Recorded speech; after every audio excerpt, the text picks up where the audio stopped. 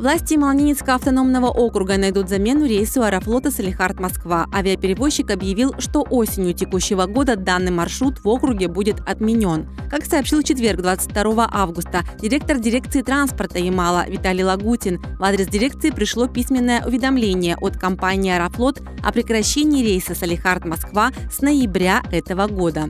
В данный момент ведется работа по привлечению новых перевозчиков, чтобы заместить высвободившийся слот. По словам чиновника, в округе летает много авиакомпаний, и в ближайшее время общий язык с ними будет найден. Как заверил Лагутин, количество рейсов в Москву и столицы округа не уменьшится, и ямальцы будут летать по доступным ценам. На сегодня в обслуживании потребностей региона занято более 10 авиаперевозчиков.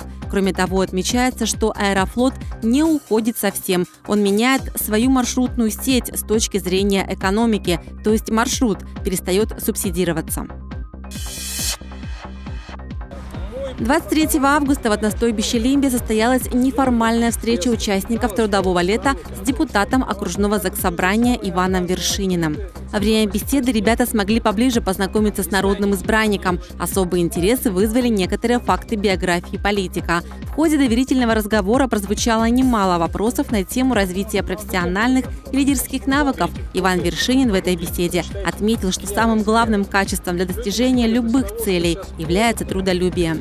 Кроме того, состоялся разговор и на актуальную для участников трудового лета тему – сбор и сортировка мусора. Ну, довольно-таки много рассказал э, депутат собрания по Янау, а именно он сказал и о том, что в России, так сказать, э, можно людям и работать хорошо, и учиться, но для этого надо приложить усилия.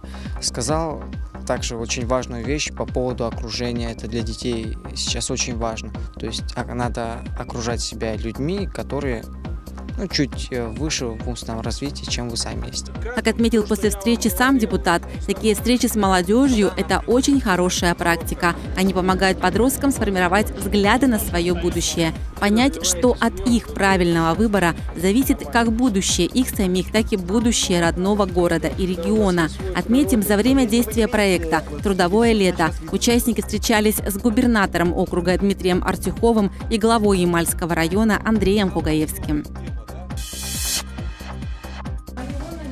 7 сентября объединение Фаблаб Ямала и Авиарктика откроют для жителей интерактивную площадку под девизом «От замысла к воплощению». На площадке инженеры представят свои изобретения, с которыми они уже посетили различные выставки и фестивали. В их числе будут проекты Real Car и Умный шкаф. Также планируется презентовать 3D-принтер, на котором каждый сможет напечатать свой собственный уникальный брелок или интересную настольную фигурку.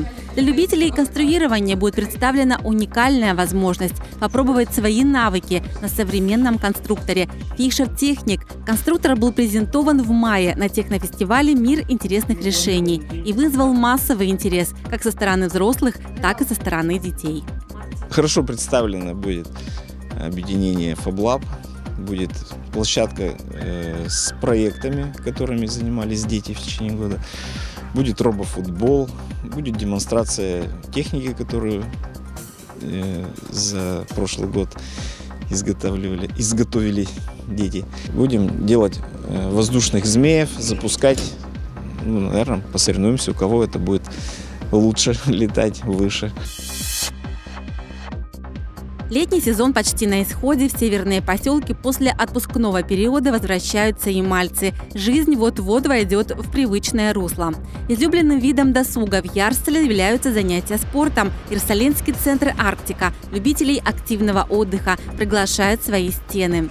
Бассейн после косметического ремонта полностью готов к работе. До 5 сентября здесь сведен сокращенный график понедельника по субботу включительно вас ждут с 17 до 21 часа. В воскресенье любители поплавать могут воспользоваться услугами бассейна с 2 до 9 вечера, перерыв с 17 до 18 часов.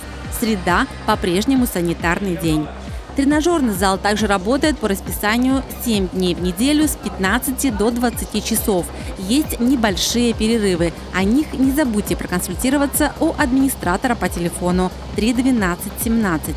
Что касается секций, расписание вечерних занятий по мини-футболу, волейболу, баскетболу, настольному теннису и дартсу остается прежним. Приходите, занимайтесь спортом, вас всегда ждут. Вот у нас э, работают специально обученные люди, вот, которые предоставят инвентарь, оборудование, натянут сетку, поставят кольца, вот, поставят столы для настольного тенниса, ну и так далее. Можно заниматься, да, уточнить время у администратора, э, прийти в назначенный час, э, достать, не знаю, ракетку или взять в руки мяч баскетбольный или волейбольный и начать тренировку.